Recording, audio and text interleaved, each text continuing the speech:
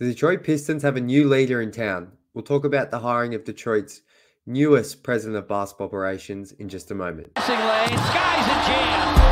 Dynamite dunk, and the crowd loves it.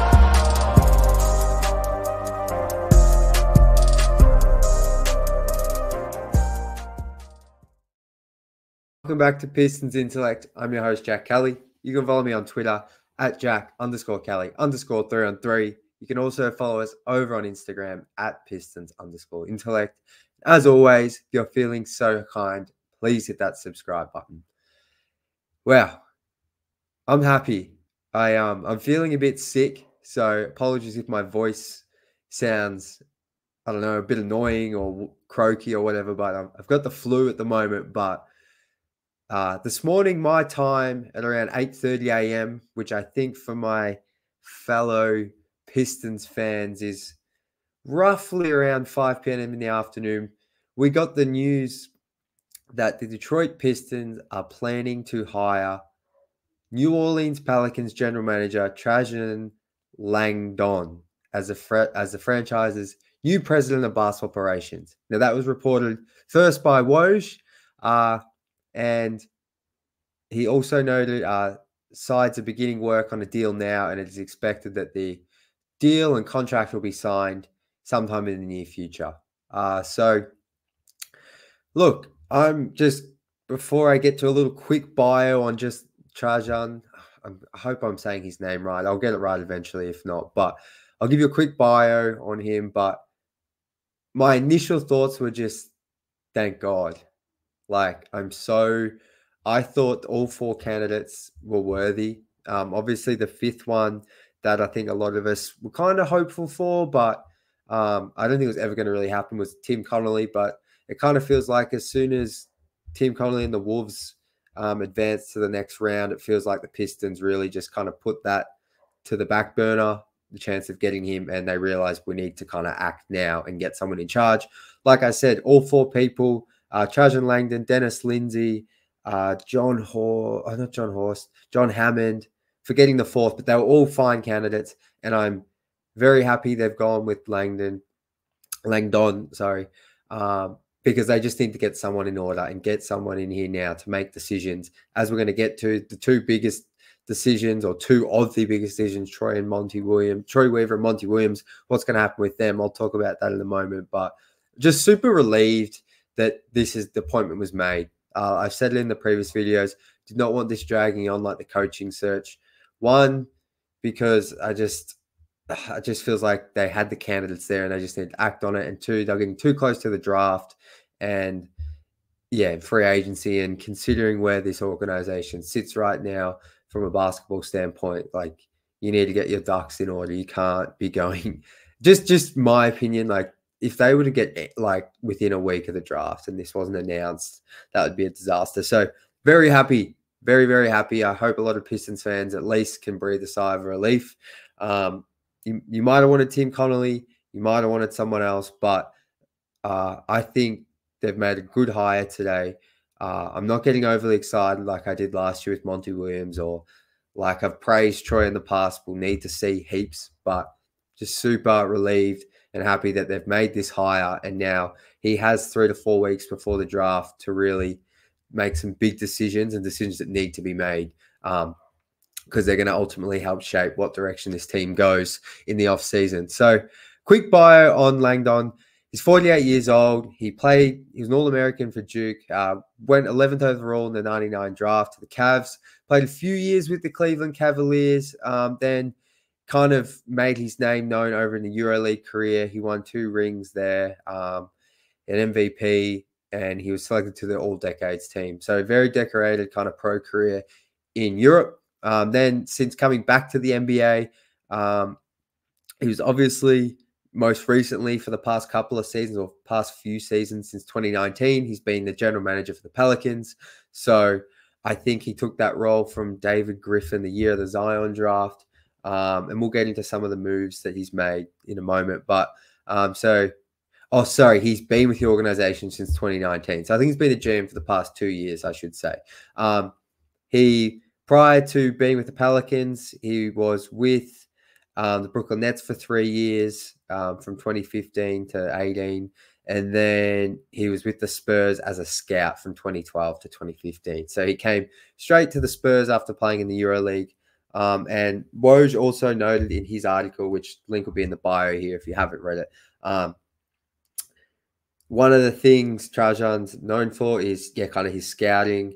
Uh, Woj noted that the Pelicans and Nets were considered to have outstanding drafts with Langdon as part of those organizations. So the Nets, when he was there, they took Jarrett Allen, who I believe was a late first round or in the 20s. Um, they took Caris LeVert, who was a late first rounder, early second rounder out of Michigan. Um, Zion, obviously, he was there when they took him. Um, and then these are the two, the two draft picks that really stand out um, because he took these two and he was the GM. So it was Trey Murphy, which was he was in the 20s once again in the 2021 draft, and Herb Jones, who was like pick 35 in the same draft. So two elite or project to be elite three and D wings in Trey Murphy and Herb Jones. They were all well. How can I say this? Langdon was the man who made the phone call and selected those two guys. So it just kind of shows you that that archetype wings, three and D wings. He prioritizes length on the wing. And can you imagine if the Pistons just had one of Trey Murphy or Herb Jones? Like, how many issues would that fix? Like, if they had those two or one of them right now, we would be saving ourselves a lot of discussions probably about a lot of these trades to do with wings because those two, whilst they're never going to be superstars or probably all stars, they are elite role playing wings. So and Trey Murphy in particular is an elite shooter. Like go watch that man shoot. He has unlimited confidence and yeah, he's a, he's a really good player. So he also and these are another two great pickups that Langdon had that have been both kind of critical pieces or contributors to the the Pelicans um, in recent years. So he signed Naji Marshall, Marshall, I should say, as an undrafted free agent and he's turned into a really fine role player, kind of a depth wing, and particularly on the Pelicans because they have so many wings as well as Ingram, the two guys I just mentioned before. Like his role hasn't been huge, but when he got minutes, he was solid. Um, so I know he's a guy that some Pistons fans have been interested in. And Jose Alvarado, another undrafted free agent that Langdon um, found off the scrap heap. I think Alvarado was playing for the Westchester Knicks in the G League, and he found him. And you know, Alvarado's going to have his struggles in the playoffs because he's so undersized. But everyone knows kind of the defensive intensity he brings. He's a bit undersized, but he plays with a ton of heart, and that's like they're the guys that you can get on the margins. That yes, it's crucial that you draft well and you make good signings with like the bulk of your cap space, clearly. But it's also important you can get guys on the margins like Naji Marshall, like Jose Alvarado. I mean, I would even even go to say Herb Jones, like drafting him in the second round, like that's kind of working on the margins. So you love to hear that. You love to see that. Of course, we need to see that player in Detroit now. I'm not going to sit here and say he's the next RC Buford or um, God, I can't think of the OKC GM's name, um, Sam Presti, but um, you know, solid. And you just have to imagine a couple of those guys in Detroit those guys that he's got in the second round or the late 20s, like even Jarrett Allen. Like, imagine the Pistons drafted a center like that in the 20s. So, look, this isn't to bash Troy's drafting because I think that Troy's been pretty solid as someone um, taking draft picks, and the draft is a crapshoot or crapshoot. But, like, yeah, just some interesting stuff there. So, let me know your thoughts on that. Um, yeah, as I said, happy with the hire. I'm kind of glad they've gone for someone in a he's a bit younger. Um, I was gonna say unproven or like it feels like he. I like that they've gone away from like because with the past few coaches, whether it's Stan Van Gundy, Dwane Casey, or Monty Williams, Tom Gores has always gone for that person with an extensive track record, which I don't mind. Like he's paid up for these guys, paid top dollar to get them here.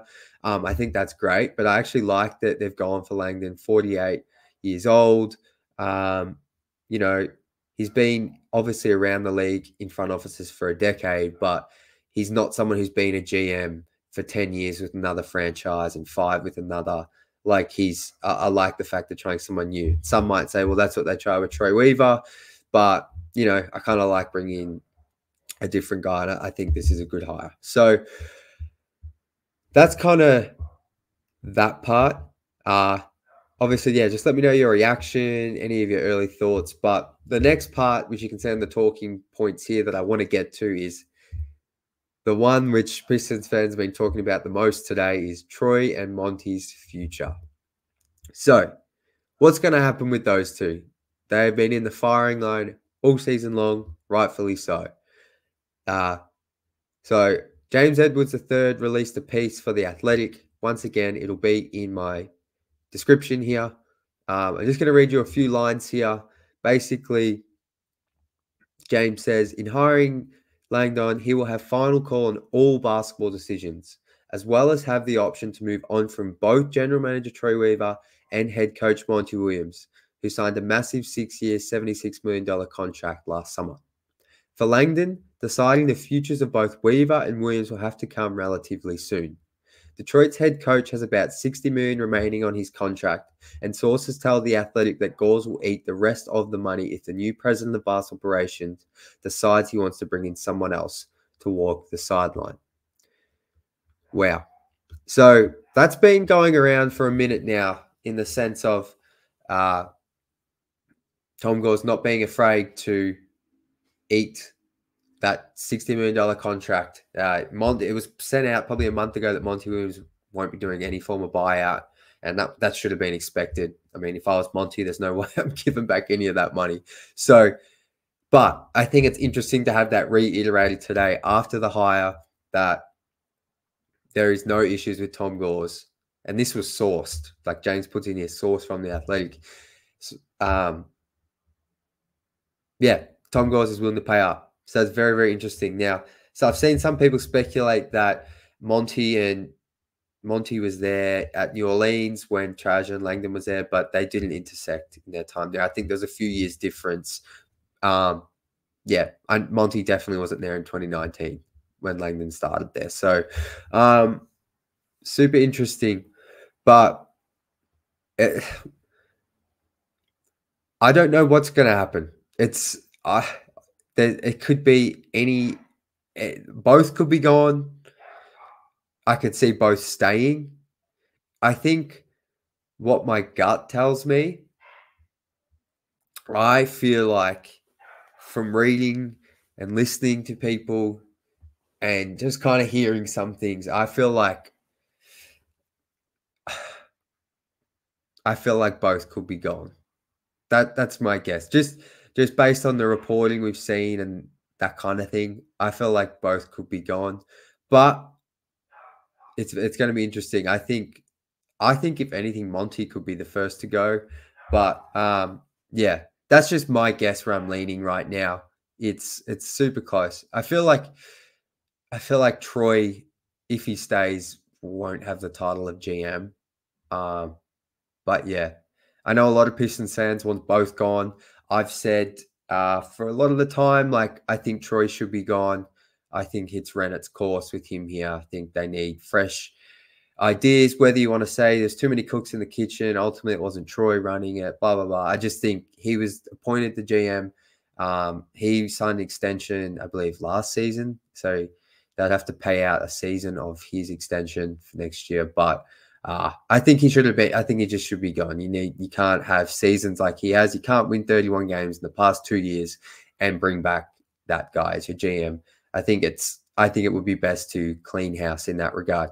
Now, as for Monty, uh, it's an interesting one because part of me goes, well, he didn't have the best roster um, last season. You kind of you, you could probably argue that he was set up to fail, but he made some very, very questionable things. And just without going into it in depth too much, the all bench lineups for the worst, running those consistently on the worst team in the league, mind boggling. Uh, starting Killian Hayes over Jaden Ivey, mind boggling, makes no sense. Killian Hayes hasn't been seen in the NBA since he was waived by the Pistons in February. Uh, they're, they're the two that come to mind. There's plenty. I don't want to bore you with them, but some extremely questionable decisions um, from a coaching standpoint. Uh, Monty did this season, so it, it, part of me thinks you should probably just restart, find a new coach who's because, in my opinion, the Pistons next season, like I hope I'm wrong. I hope they can do a Houston Rockets like this season, and they can win close to 40 games. I think the Rockets won. Maybe they're 41 and 41 in the end. Like ideally they get to that point where Houston were, but I'm just not sure they that's the most realistic option, especially with kind of a new new person coming in in Trajan Langdon who's probably might not be as desperate to make huge swings like maybe Troy would have this summer as more of a desperate GM or decision maker. Um, I kind of feel like they're going to, their aim should be around 30 wins next season, 29, 30 wins, which I know will frustrate some people. Um, so maybe you look to bring in a coach who's more equipped to develop t- young talent, like not this guy exactly, but someone like a Kenny Atkinson, you know, I tell you a coach I would love who's currently interviewing for the Lakers is like a James Borrego. I thought he was really good with the Charlotte Hornets.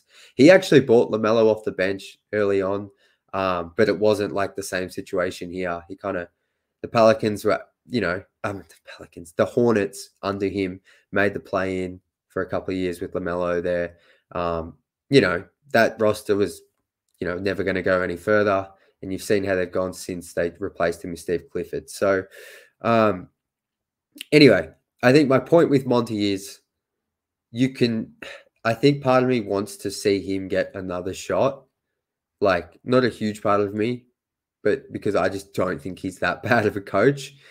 But like the other part of me goes, well, look, if there is any doubt in your mind that he's not the guy, then why not just just reset this off season and start fresh?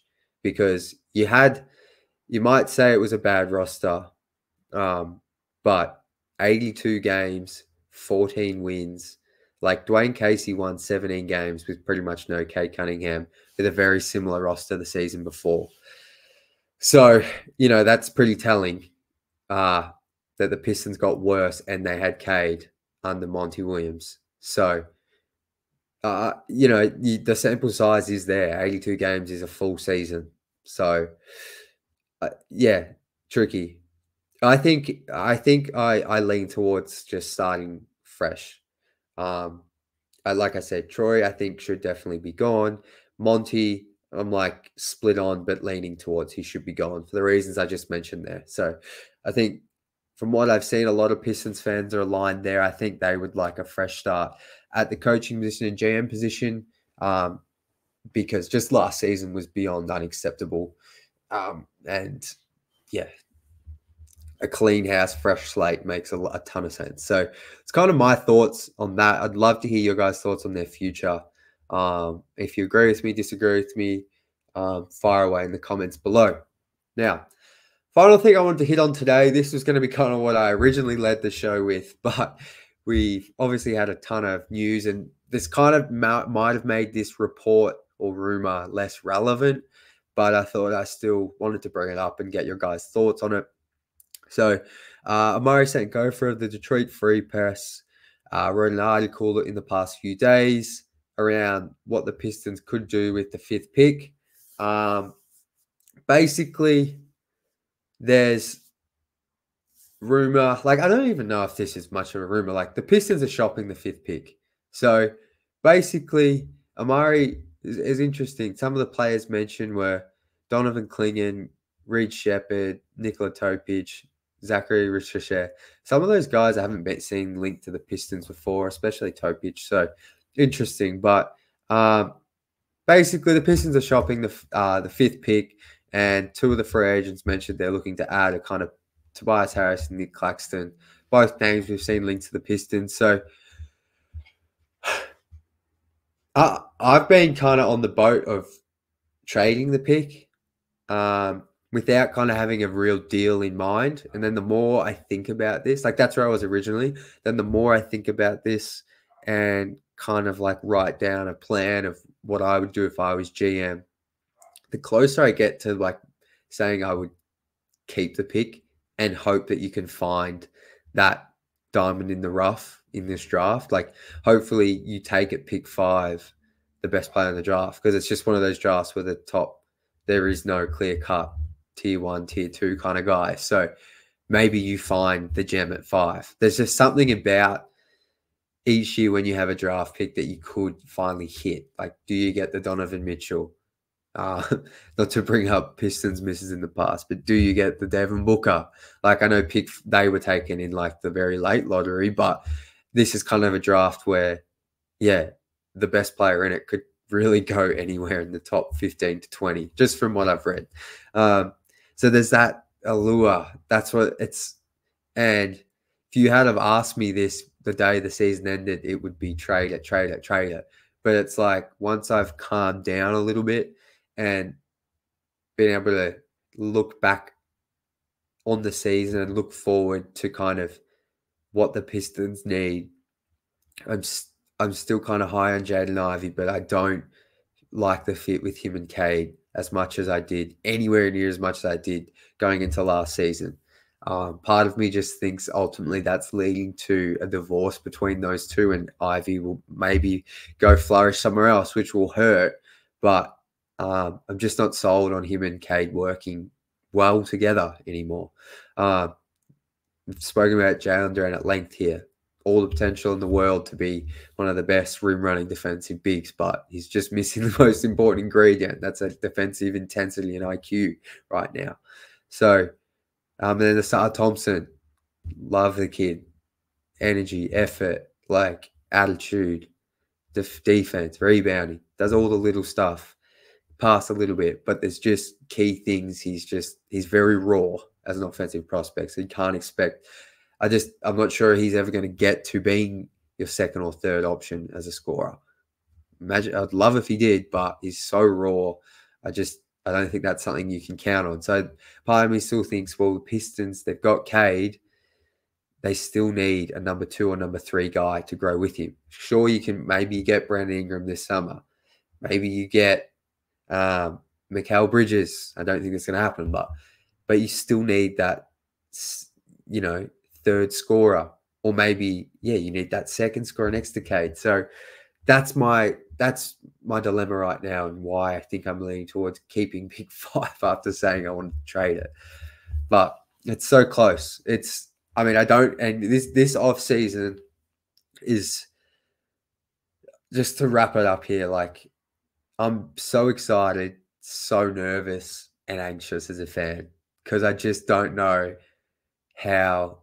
Like I think all's we just are starved for is hope, and I feel like today was the first kind of hope we started to get. The draft lottery last week was a nightmare in the sense of like it went as bad as it could. And I spoke about that last week where that was meant to be the day we could start building some hope. So today I feel like Pistons fans have a little bit to smile about. Um, and hopefully the positive trend can continue. Um, and yeah, it's going to be just such an interesting off season. Um, I, I, can't wait to kind of talk about on future episodes. But I would do. I was planning to do a little bit of that today, but obviously we got some really exciting breaking news, so that took over the show. But yeah, let me know your thoughts on Trajan Langdon. I think I got that right. What do you think is going to happen with Monty and Troy? And kind of your plan for the off season. Would you trade pick five? Who are you signing? Who are you trading? Because um, I can't wait to talk about that stuff next week. So until always, unless we have any more breaking news, I'll be back for you guys with a show on Tuesday. But until then, go Pistons.